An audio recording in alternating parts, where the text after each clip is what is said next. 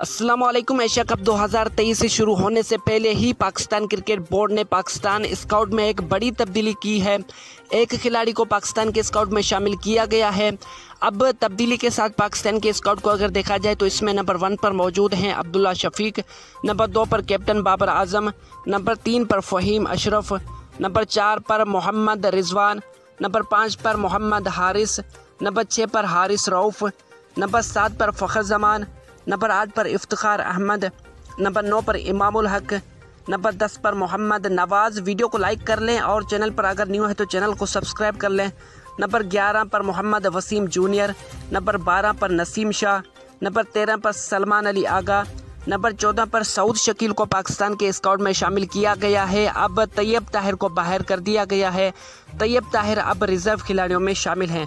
इसके बाद नंबर पंद्रह पर शादाब खान नंबर 16 पर शाहिन शाह अफरीदी और नंबर 17 पर उसामा मीर पाकिस्तान के एशिया कप स्क्वाड में शामिल हैं।